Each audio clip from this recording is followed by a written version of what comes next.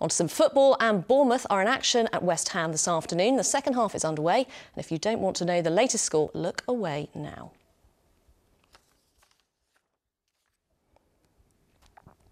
Let's have a look at the weather. Here's your forecast with Holly Green.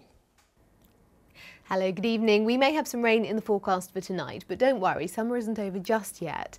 For tonight, though, we have got a weather front pushing through, bringing outbreaks of rain, but also increasingly moist air. As we push towards midweek, though, our air starts to come up from the continent, and much as it has done at times over the past few weeks, that means some warm weather.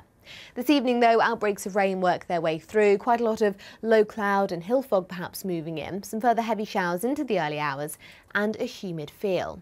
So we start tomorrow morning with a bit of rain around. Quite cloudy skies initially. The further north you are, you may keep more cloud, perhaps a little rain. But there may well be some sunny spells coming through elsewhere, and given some sunshine, it will feel warm. But I think a better chance for all of us to see some sunshine into Tuesday and temperatures really shooting up as we head towards the middle of the week. Have a good evening. That's all from us for now. Our next news is tonight at 20 past 10. But for now, from all of us here at the BBC South Weekend team, enjoy your evening. Goodbye.